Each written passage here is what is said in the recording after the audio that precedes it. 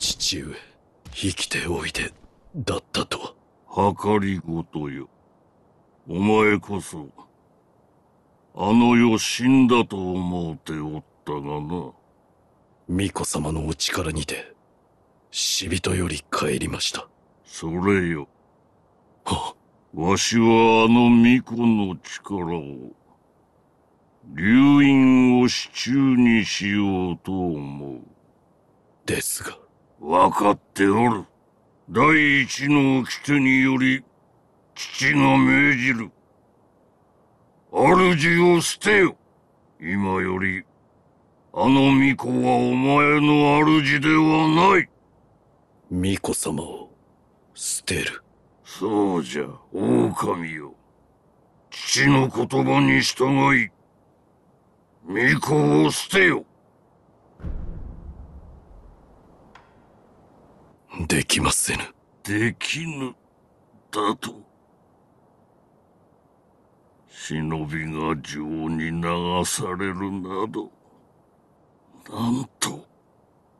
情けないことか。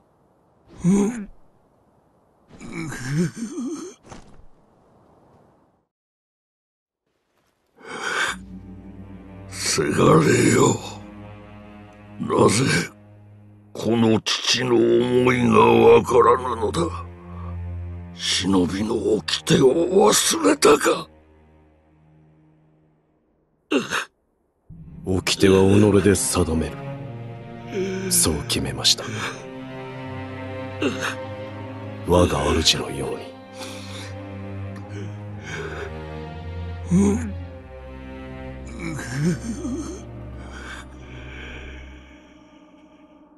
少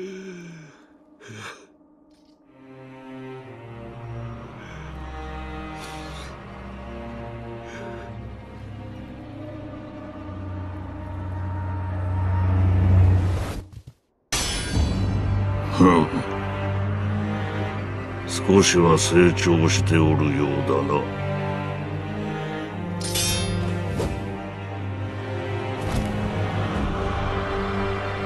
やろう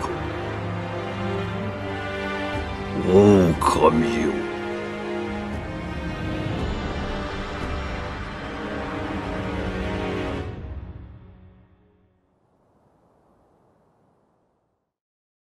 参る